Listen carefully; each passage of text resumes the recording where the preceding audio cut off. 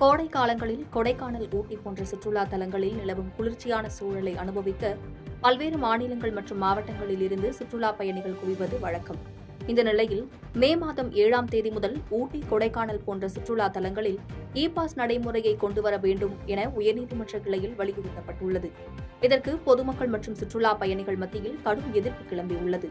இது பற்றி கூறும் சுற்றுலா பயணிகள் சாலை விரிவாக்கம் செய்யவும் விரிவாக்கம் செய்யப்பட்ட இடங்களில் தற்காலிக கடைகளை அப்புறப்படுத்துவதும் போன்றவற்றை செய்தாலே போக்குவரத்து நெரிசலை குறைக்க முடியும் என தெரிவிக்கின்றனர்.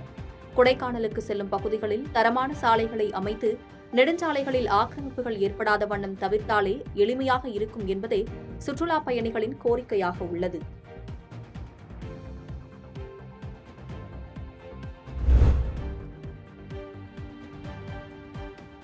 அம்மன் கோவிலில் வைகாசி மாத பெருந்திருவிழாவை முன்னிட்டு இரவு கம்பம் நடும் விழா சிறப்பாக நடைபெற்றது. திண்டுக்கல் மாவட்டம் வத்தலகுண்டுவில் இந்து சமய அறநிலையத்துறைக்கு உட்பட்டுள்ள அருள்மிகு ஸ்ரீ முத்துமாரியம்மன் திருக்கோவில் உள்ளது. இங்கு ஒவ்வொரு வருடமும் வைகாசி மாத பெருந்திருவிழா நடைபெறுவது வழக்கம். அதேபோல் இந்த வருடம் திருவிழாவின் முதல் நிகழ்வாக அரச மரத்தினால் செதுக்கப்பட்ட கம்பம் முக்கிய வீதிகளில் ஊர்வலமாக எடுத்து வந்து கோவில் முன்பாக கம்பம் நடும் விழா வெகு விமர்சையாக நடைபெற்றது. அதனைத் தொடர்ந்து இன்று காலை கொடியேற்றத்துடன் தொடங்கிய திருவிழா இந்த மாதம் இருபத்தி எட்டாம் தேதி உற்சவ திருவிழாவுடன் நிறைவு பெறும். இவ்விழாவில் இந்து சமய அறநிலையத்துறை மாவட்ட தலைவர் குழு தலைவர் அதிகாரிகள் மற்றும் ஊர் பொதுமக்கள் என ஏராளமானோர் கலந்து கொண்டனர்.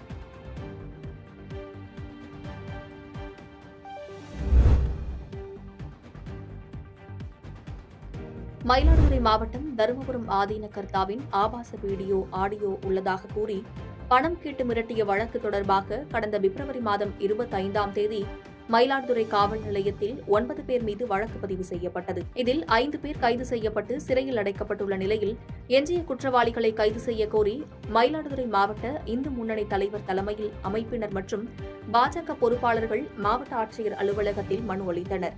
அவர்கள் அளித்த மனுவில் தருமபுரம் ஆதீன வழக்கில் தேடப்படும் குற்றவாளிகளாக உள்ளவர்களை கைது செய்யவில்லை. இவ்வழக்கில் அரசியல் உள்நோக்கத்தோடு பாஜகவை சேர்ந்தவர்களை மட்டும் கைது செய்யப்பட்டுள்ளதாக தோன்றுவதாக குறிப்பிட்டுள்ளனர். மேலும் காவல்துறையினர் ஒருதலை பட்சமாக செயல்படாமல் கைது செய்யப்படாமல் இருப்பவர்களை உடனடியாக கைது செய்ய நடவடிக்கை எடுக்க வேண்டும் என்று மனுவில் குறிப்பிட்டிருந்தனர். அவ்வாறு கைது செய்ய நடவடிக்கை எடுக்கவில்லை என்றால் இந்து முன்னணி சார்பாக மிகப்பெரிய போராட்டம் நடத்தப்படும் என்றும் தெரிவித்துள்ளனர்.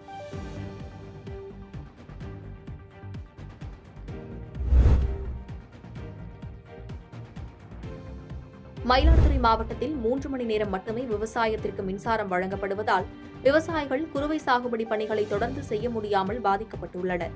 இதேபோல் பல்வேறு கிராமங்களில் முறையாக மின்சாரம் வழங்கப்படவில்லை என்று கூறி சாலை மறியல் போராட்டம் அறிவித்தனர். இந்த நிலையில் நேற்று மாவட்ட நிர்வாகம் பேச்சுவார்த்தை நடத்தி விவசாயிகளுக்கு உரிய தீர்வு வழங்காததால் இன்று சிதம்பரம் செல்லக்கூடிய சாலையின் மையப்பகுதியில் சாலை மறியல் போராட்டத்தில் ஈடுபட்டனர்.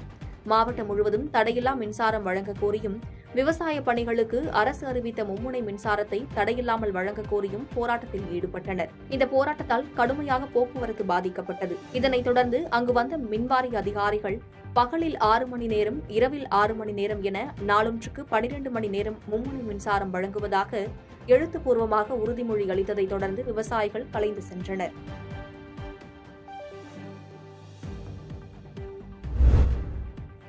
மயிலாடுதுறை மாவட்டம் குத்தாலம் காளியம்மன் கோவில் தெருவில் மகா காளியம்மன் திருநடன வீதி உலா காட்சி வெகு விமர்சையாக நடைபெற்றது. கடந்த பதினான்காம் தேதி இத்திருவிழா காப்பு கட்டுதலுடன் தொடங்கியது. ஏழாம் திருநாளான இன்று ஆஞ்சநேயர் கோவில் தெருவில் மகா காளியம்மன் திருநடன உற்சவம் நடைபெற்றது. இதில் குழந்தையை கையில் ஏந்தியபடி நடனமாடிய காளி கும்மியாட்டம் உடுக்கை பம்பை மகுடி ஆகிய பல்வேறு நாதஸ்வர கலைஞர்களின் ராகங்களுக்கு ஏற்றவாறு திருநடனம் ஆடியதை ஆயிரத்திற்கும் மேற்பட்ட பக்தர்கள் ஆர்வமுடன் கண்டுகளித்தனர்.